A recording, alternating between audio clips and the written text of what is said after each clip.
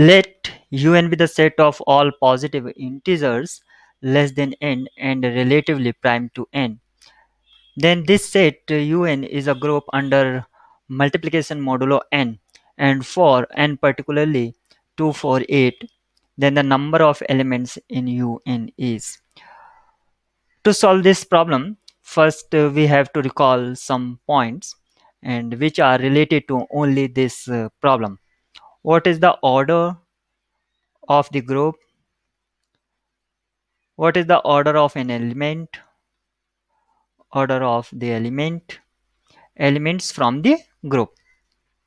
And what is the difference between these two? And to calculate or solve this problem what is Euler phi function?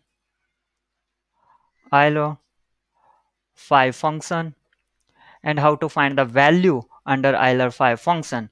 Suppose this is phi n, then how to find value of phi n? Write n as a prime factorization.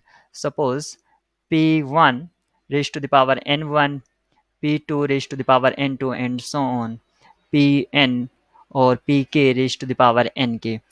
These are prime factorization of n, then phi n can we find out n into 1 minus 1 upon p1 use this one and 1 minus 1 upon p2 use this one in this bracket and so on up to 1 minus 1 upon pk. To solve Euler phi function we will use this uh, formula. And if n is prime if at if n is prime, then value of phi n is equal to n minus 1. There is no need to apply this formula. You can use this directly. So we have to find the order or number of elements in un where n is 248 means we have to find the order of un means number of elements in un number of elements in un and this one can be find out with the help of Euler phi function phi n.